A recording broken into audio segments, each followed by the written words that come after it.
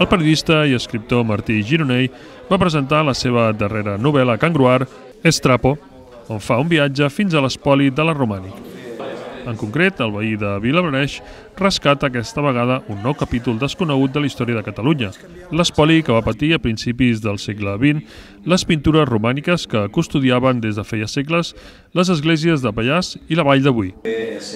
Es tracta, doncs, d'una novel·la que fa una paràbola moral que narra les conseqüències de comerciar amb el patrimoni del país. Martí Gironell, però, va explicar que la història del llibre aborda tot un món per descobrir.